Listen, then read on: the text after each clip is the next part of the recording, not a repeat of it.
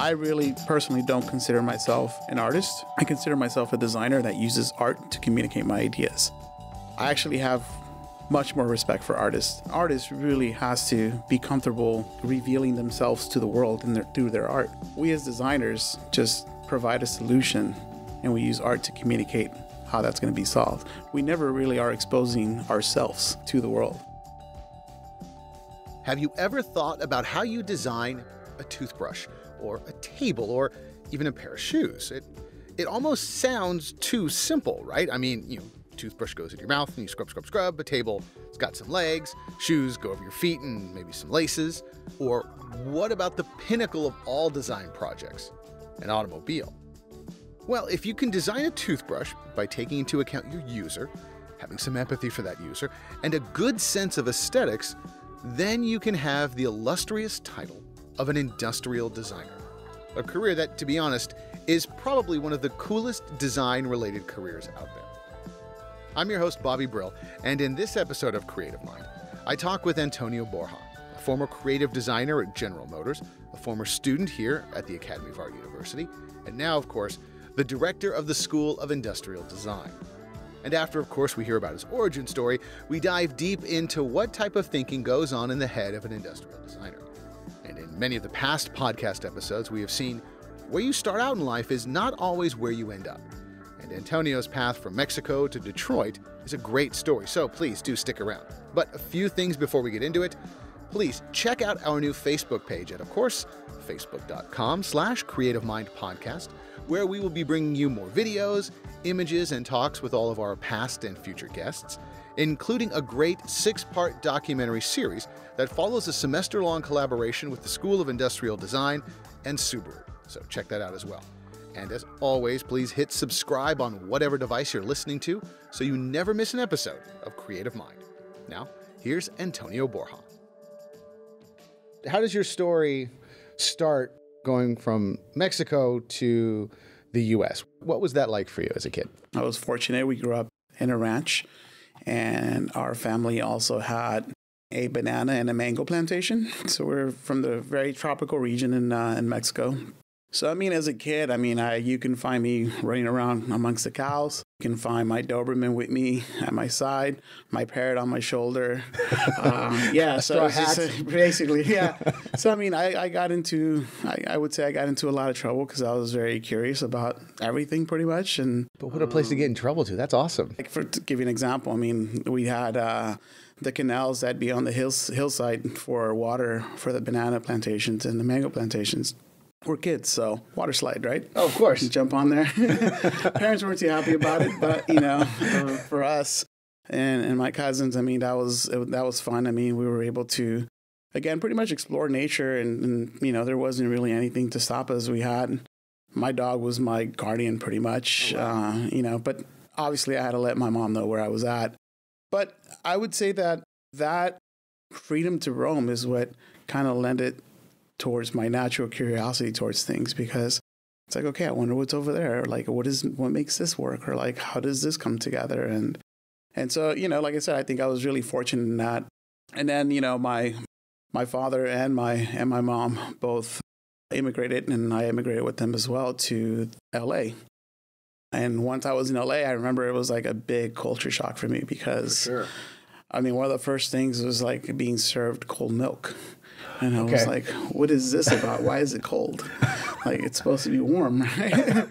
and they're like, no, it's, you know, store bought milk. And like, I, I remember, like, and to this day, I still really don't like milk unless it's steamed. it's funny. My, my brother-in-law is like that. He's from India, and like I was at his house, and he was pouring milk on his cereal, and then put it in the microwave. Yeah. And he he caught me looking, and he goes, I didn't grow up on cold milk. It, it's it's weird. So yeah, so that was one of those things where it was like okay, and then all of a sudden, obviously, you know, I get introduced to a whole different lifestyle in the sense that you know there's cars that are around me where before there's horses and and cows and I mean we had cars as well too, but it wasn't. But LA is, is it concrete was, jungle. Exactly, exactly. It was Where in LA were you, where did you start? When we first moved, we lived pretty much in South Central LA. Okay. I went to school in Wadsworth Elementary School. Okay. Which is right off of MLK. Yeah, right by the Watts Towers there. Yeah. Okay. So it was, you know, uh, as a kid, you know, we we had a lot of fun. I remember one of the classes, one of my favorite classes that we had is where, you know, basically back then in LA district, everyone, I think everyone got an IQ test.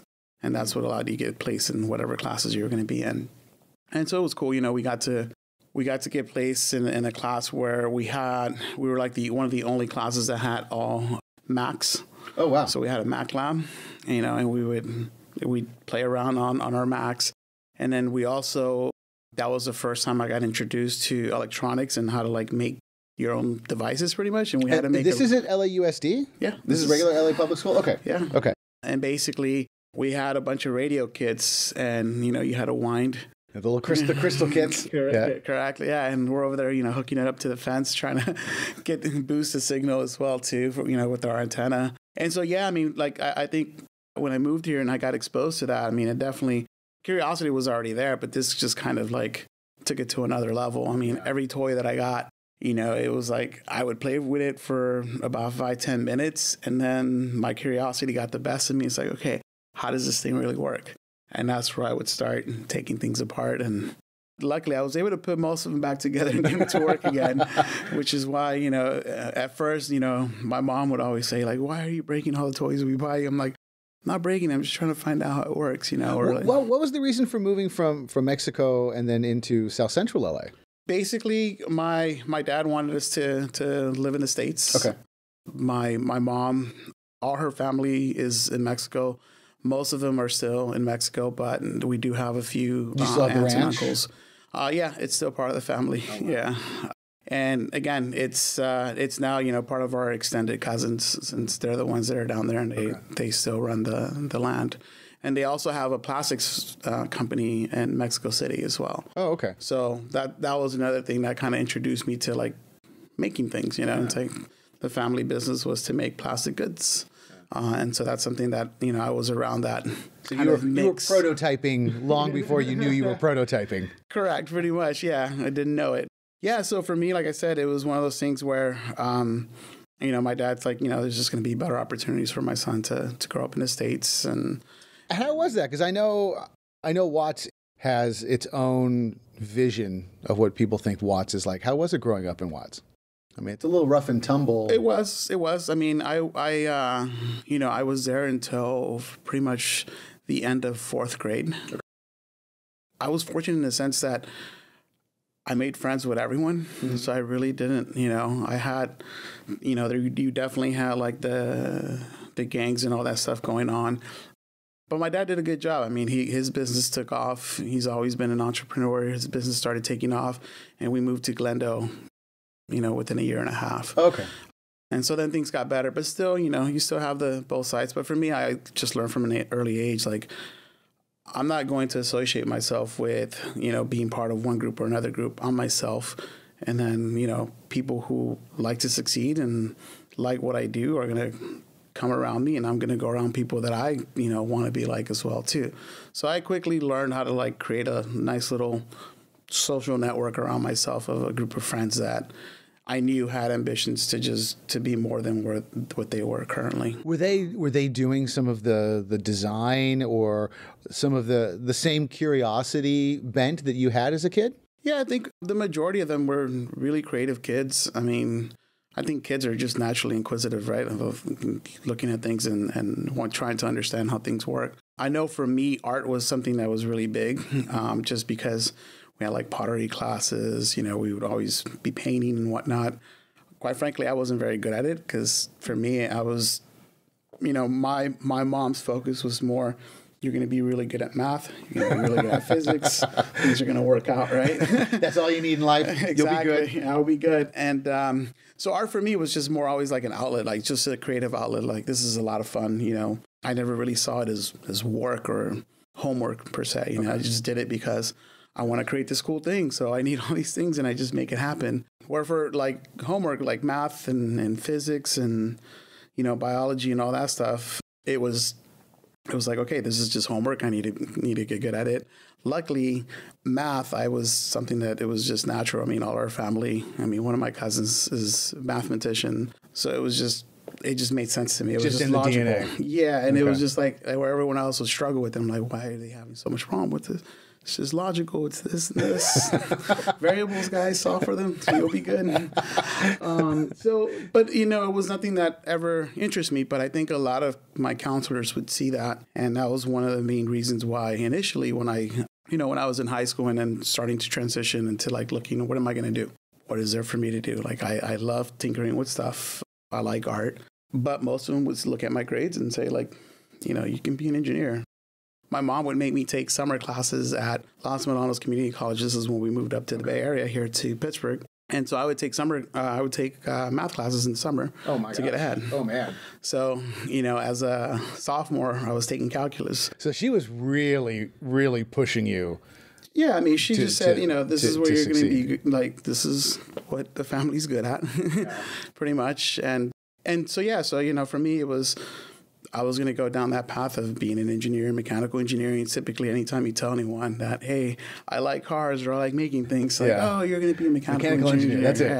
Yeah. And so yeah, so that was that. That was really the the big push there in the sense that you know I I think again at an early age I was really exposed to a lot of these classes where we had to make things ourselves, and I really I really have a lot of you know good memories looking back at that time because you know we would work together as a team to get our radios to work or to get our little you know trinkets of whatever we were making little solar panels i think on one of them we were making like little simple solar pa- uh, solar panel or solar powered uh, cars you know Oh my just So like you, were really. I mean, you were doing full on design. yeah I mean, engineering. and it was just but again for kids you don't really think of it as that Yeah, it's it's just just- you're it's making a, model. thing you're, you're Yeah. making it move and so basically you know getting exposed to that i think it's what would really like you know open up my my mind to saying like hey it, this actually can be something that i would want to do and it doesn't feel like work was there a car culture thing going on, or was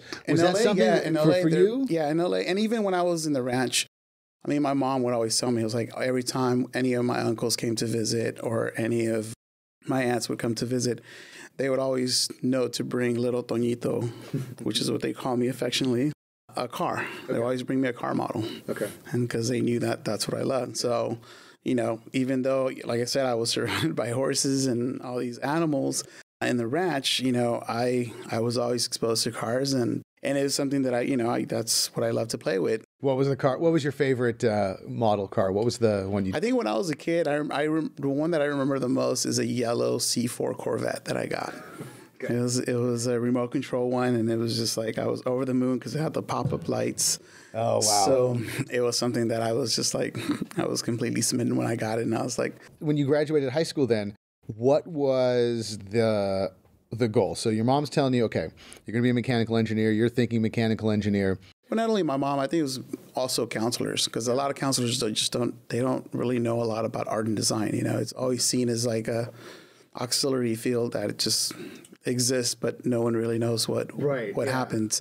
Upon graduating, you know, I enrolled in uh, in DVC. My cousin did as well. He went to Cal Poly, mathematician. What's DVC? Diablo Valley College. Okay. This is in uh, Pleasant Hill. And basically, so I enrolled in junior college. You know, I tried to get all my two year classes out of the way, all the general ed stuff out of the way. You know, I met with the counselors there too, and their and their advisors, and I would tell them like, yeah, I want to design cars. That's what I want to do for a living. It's like, okay, yeah, you're going to be a mechanical engineer. That's what they do. It's like, all right, great. That's made sense. That- that's the but then I'm in option they had. drafting classes, and I'm like, I don't want to draft anything for like hours on end. Like this is not this is boring to me. This is repetitive work. Nothing against people that draft. This just wasn't my Wasn't your thing. My passion. Yeah, I was more into like I want to create and define what the vehicle is going to do, how it's going to look, how's it going to function. But again, I had no clue that there was a field. And then I actually happened to run across a brochure of industrial design. And that's where I was like, that's what I want to do. I want to be an industrial designer. I want to be a car designer. Because yeah, industrial design. I mean, I've worked tangentially with you in your department for a couple of years now, and every time you see somebody doing industrial design, it's like, I mean, your just head explodes. It's like, oh, this is everything. Yeah. This is literally every skill set an artist can have. It's all the math, all the design, all of the pretty, all of the functionality, all of the cool in one thing. I mean, I'm jealous when I go to industrial design because it's like, oh, they get to do massive machines and make really cool things. Yeah, one and like I said, once I realized like this field existed, there was like, okay, that's what I want to do. And I, you know, quickly asked my advisors, like, okay, where, what are some of the industrial design programs around here? And, you know, they mentioned San Jose State, Art Center, Academy of Art. And my mom really just wanted, and I also really just wanted to stay close to home too. So, you know, I, I came to the academy. I remember I took one class because at first I wanted to see uh-huh. if I was going to like it because, you know, it still was kind of like. Big step. Yeah, I mean, it was like I'm super excited about it, but I'm like, I don't want the excitement to get the best of me. I want to make sure that this is going to be right. I still remember my first class. It was um, I took a uh, development of form class, and it was just, yeah, this is where I belong. In that development of form class, what was that light bulb moment for you? I think that the the first time that I got to see how I could design something and sketch it out, and then within the same day make a prototype of it and then have a functional product by the end of the day. And it was like this idea just came from something that I just sketched. It was just something here. I brought it to paper and then I brought it to life. I thought there was something really powerful about that. It's like I'm getting to create products for people. Like this is really cool. This um, this this it's going straight from your head into the, the world yeah. in a day. And then I get to, you know, showcase it to my friends, my my classmates and whatnot. They give me feedback on it we make changes to it and we make it better and we improve it. It's like, wow, like this is never ending fun. It's like you're going to be in the sandbox, you're going to make cool castles, you're going to tear them down and make some more new ones the next day. And it's like, it just doesn't stop, right? Because if you think about it, I mean, we design products, but as you know, perfection is still elusive. We design these great products, they're perfect for the time. But as, as people evolve, as time, you know, as time goes on, the needs and the wants become different. So things need to be redesigned you know, what we felt was the greatest thing, you know, for consumer electronics, for example, what was the best phone last year is now old news within right. six months. Car design is kind of similar as well, too. You know, the, for the, the next model year or four years, you know, every four years, usually you have a major facelift. And it's like, okay, now this car that which once seemed to be like the perfect, you know, resemblance or the perfect personification of the brand seemed like you couldn't top that. Now it becomes, you know, obsolete, not obsolete, but definitely it becomes a statement of what that brand was at that point in time. What is it? The the Honda, the Hyundai Accent, or the what was it? Or the Aztek? Was that one? That was the Pontiac. The Pontiac Aztek yeah. is the one. So interesting story about that though, because when I so when I we're fast forwarding here, yeah. But when I, I joined GM, that was one of the projects I had asked about. I was like, you know, so like what what was the story behind the Pontiac Aztek? You know, and you ask it not because you're poking fun, but you just kind of want yeah, to know. How, how, did that happen? And one of the things that you know the designers told us is like, well, that was our first attempt at just doing everything digital and not having clay. And there's a reason why yeah. it looks great on renderings, it looks great on sketches, but when we saw it in real life, it wasn't really translating to what we saw on there. And so that's quickly they realized like, hey, you know, like as much as we like this new process of creating everything digitally and just printing or not printing it out, but like, you know, manufacturing from data, we still need the hand to touch the surface and to finesse the surfaces and to see them and one to one scale and make adjustments to them then. Mm. But that was one of the things that at least that was one of the things that I was told and I and it made a lot of sense. Like, okay, I can see that because I'm like the sketches of it were always pretty they look pretty good, you know, and the concept the concept honestly it was quite quite forward of its time. I mean, the fact that it's a multi-use vehicle.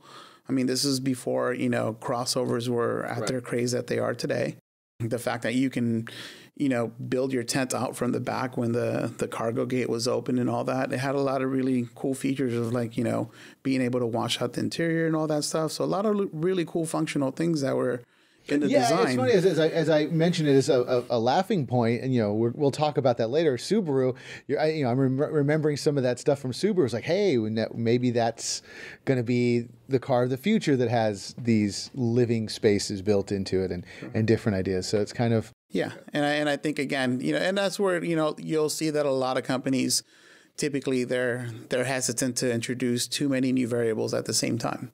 You can push it too far and the public's just not ready for that. So a lot of times you have to put intermediate models or like you know stepping stones, so that way you can adjust. Educate people exactly. Okay. I mean, kind of, I mean, we saw the same thing happen with the with the iPhone, right? The first iPhone had a bunch of SKUisms in its design. So, you know, your notepad looked like an actual little notepad. Yeah. The timer looked like a, a timer. Yeah. yeah, you know, the microphone. And now it's just the you know, the actual WAV or wave signal on on on the uh, recording there. So those are things that if they would have done that right away, people would have been taken aback. Like, what is this thing? You know, this is an alien, foreign thing. so know? the Tesla truck may be the coolest thing ever in 15 years. you know what? I mean, that was that was. Uh, so we, I mean, I was down in L.A. when it got unveiled, and uh, you know, that was a big discussion that we had. I mean, I th- again, I think when you look at industrial design and what we teach our students to do, which is have empathy for who you're designing for. So, what are their wants? What are their needs? What are going to be their nice to haves? Also, have empathy for society. Like, what what is what can this vehicle be, and how is it going to exist around you know other vehicles, and how is it going to live in in, in a day to day environment? You know, the next thing is we say, you know, you have to make sure that it's also logical. It has to make sense. So you have empathy, you have logic. Those two things are what sets up your project because empathy is again understanding who the user is, who is going to be designed for. The logic is making sure that the technology is there, the price points make sense, the sustainability makes sense. You know, the products, the the actual materials that you're using make sense for the application that you're trying to do, and then and then pretty much the next thing that sits on top of that. I'm drawing a, Vastly simplified. diagram here. and then what sits on top of that is aesthetics, right? So aesthetics is what comes in and makes people want it, makes mm. people identify it with the brand. It's got to be cool, but also just, you know, we have different brands because different people want to project, you know, themselves in different ways. Mm. So that's one of the main reasons we have multiple brands. And, you know, most conglomerates usually have three or four brands under their umbrella mm. that they control. And it's for that reason. And so basically, once we have those things where the intersection of those three elements intersect, that's where you're going to have your design. You mentioned empathy, and you know, pretty much everyone we've talked to so far has said that same thing. Chuck Pyle talked about in his illustration career that if you're illustrating, you need to illustrate with empathy. You're, you're telling a story that people can empathize with. Um, we had some other designers talk about always having empathy in what they were doing. And that to me is not something I often think about when I'm thinking about an artist that almost that that psychological connection with people. And how, how important is that in you know industrial design when you're designing a toothbrush or a car or something like that? I think now the way we really look at designing things is we really try to ask ourselves, okay, what what's the main goal that we're trying to accomplish here? So if we do a study of a day in the life of a certain person, like this is what they do, they get up in the morning, they do X, Y, Z, then at that point we look at this is their day today. Where are their pay points, pain points that we can remove from their life Okay. and make their lives better? Because this is, I mean, at the end of the day, that's our goal as industrial designers is to make life better for everyone Make, make like make life painless. as painless as it can be, at least. And you know, as you know, you pretty much from your actually from the point you go to bed, beds are also most of the time designed as well. To the toothbrush and to your cell phone, your computer, your sneakers, all that stuff is designed by industrial designers. And so basically for us, it's like, okay, well, let's look at their, their lifestyle. Let's look at their a day in the life of the week, of the weekend, of vacation time, of, you know, them having a special getaway with their friends and family, right? We look at those things and we ask ourselves, what experience, what new experience can we create to make people's lives better? And that's how we're designing most products today. We don't even take into consideration really just the hardware or just the software. They're both in unison being worked on. And that's again, you design the experience first, and then you design all the assets that are necessary to make that experience happen. And I, know we're going to talk about cars predominantly, but that is everything industrial designer. Correct. Yeah, I mean, because in, in our in our department, I mean, and this is kind of one of the things that we've been talking about recently. Is is we say industrial design, and people just don't get it at first because they're like, "What? You're in a factory designing stuff?" Like, no, No, we got a team of robots working around the clock. We just sit there and push buttons. Yeah. And it's like, no, I mean, the only reason the word industrial is in there is because we tend to mass produce the ideas that we come up with so that they make an impact in people's lives, right? If I make a one off and it's a wonderful thing, but I can't it's not a democratic product because I can't share it with the rest of the world. I'm not going to, I'm going to make a change in one person's life and that's going to be great. But if I have the opportunity to change millions of people's lives, that's going to be much more impactful. And that's where the word industrial comes from, and the fact that our ideas have to be mass produced. Okay. And there, and that's it's worldly thinking as opposed to fine art gallery thinking. Correct. Okay. And so, in, within our umbrella, I mean, our students can study everything from furniture design to toy design to product design. And product design can include footwear design, personal electronics, consumer electronics, medical equipment, and then we also have transportation as well. So it's a really wide gamut of areas that students can go into and make a make an impact on the world.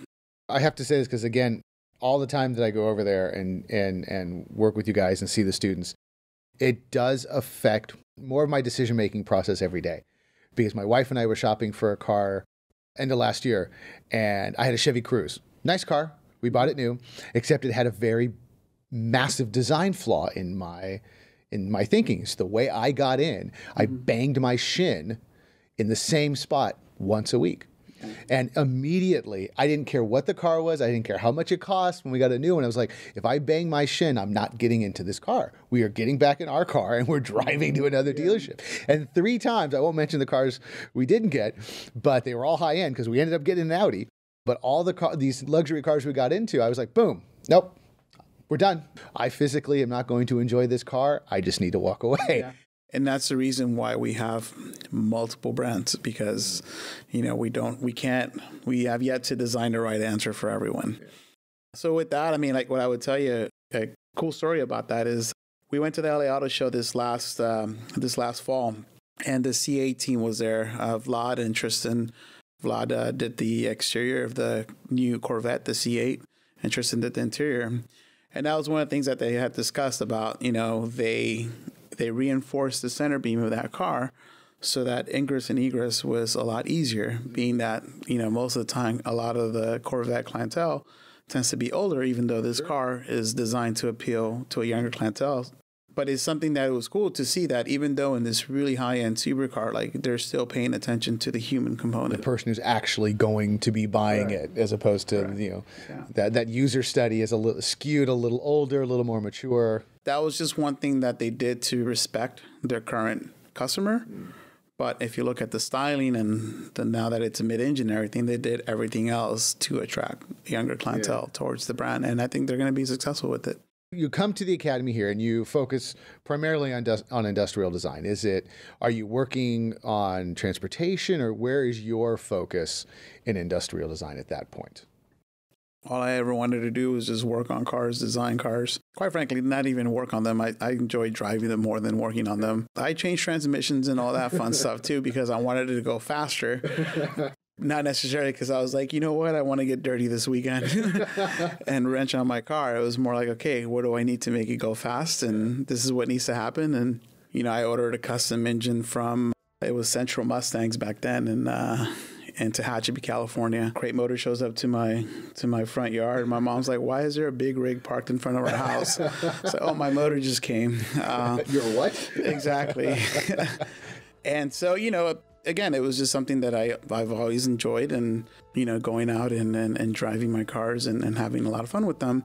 And so, anytime I ran across into anything that I felt was going to make that experience better, I would go out and make it happen. So there you go. There's a little bit of the origin story of Antonio Borja, the director of the School of Industrial Design here at the Academy of Art University. Tomorrow we'll delve deeper into what it means to be an industrial designer, what that actual term means. We're going to talk more about cars, more about design, more about being a working artist and what happens after you graduate. So definitely check out the next episode. And please check out our new Facebook page at facebook.com slash creative mind podcast for all the cool videos, links, and past podcast information and all of our future guests. And most importantly, please hit subscribe on whatever device you're listening to. And thank you again for listening to Creative Mind.